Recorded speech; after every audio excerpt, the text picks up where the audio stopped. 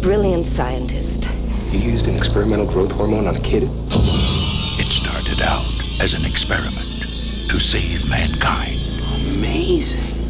This is the food of the gods. I'll just settle for an antidote. But it ended up as a nightmare that could destroy the world.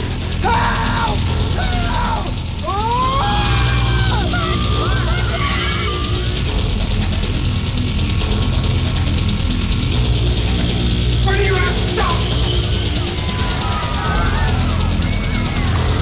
For those with a taste for terror.